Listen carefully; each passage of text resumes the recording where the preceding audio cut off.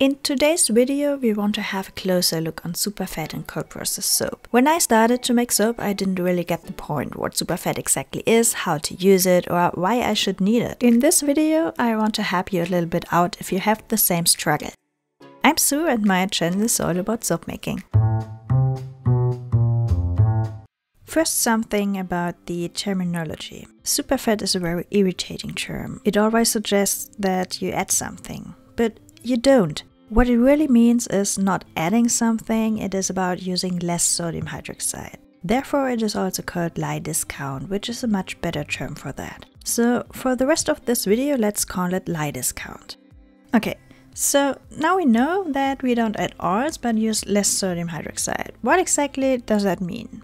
With the saponification value, you can calculate how much sodium hydroxide you need for a complete saponification, which means that there is no leftover oil or sodium hydroxide at the end. When you use less sodium hydroxide, you will have some leftover oil molecules which weren't able to saponify completely because they ran out of sodium hydroxide to react with. But here's the point a lot of people think wrong. When you make cold processed soap, you will not have any oils which are not saponified. You will have a lot of molecules which are completely saponified and some which are partially saponified.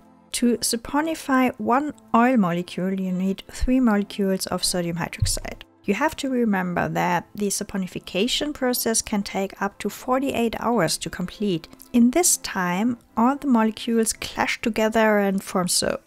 When you use a lye discount, the chance is much higher that every oil molecule has reacted with at least one molecule of sodium hydroxide than that there are oil molecules which didn't react with any sodium hydroxide at all. And there's another important thing to remember.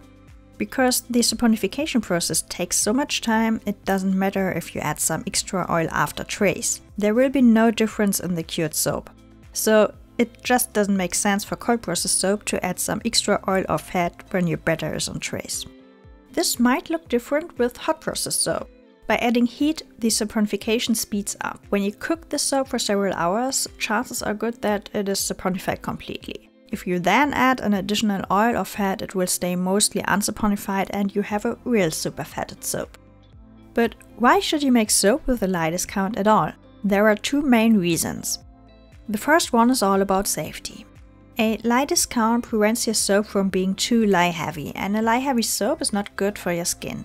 You might have some problems with skin irritations when you use a lye heavy soap. The second reason is the benefit. Soap without a lye discount mostly makes the soap a bit drying to your skin. By using a lye discount, your soap will be more nourishing and mild. Okay, and how much lye discount should you use? For the most soap recipes, 5 to 10% is a good range. When you want to make soap with only coconut oil, you can go up to 20%.